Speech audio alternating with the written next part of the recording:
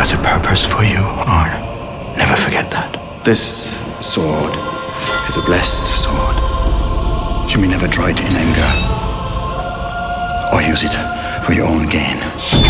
I'm reluctant to raise a child to become a monk.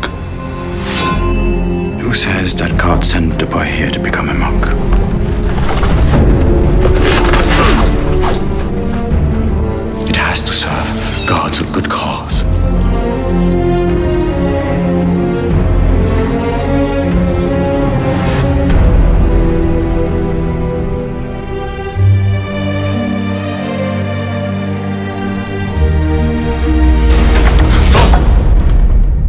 Have been convicted of an abomination, and no man can lift that sentence.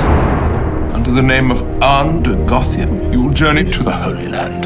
You will be a Knight Templar. Jag svär att jag ska hämta dig härifrån.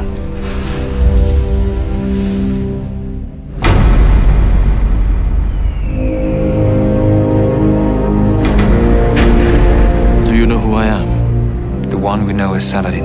And you are not afraid? You respect him. That won't stop me from fighting him.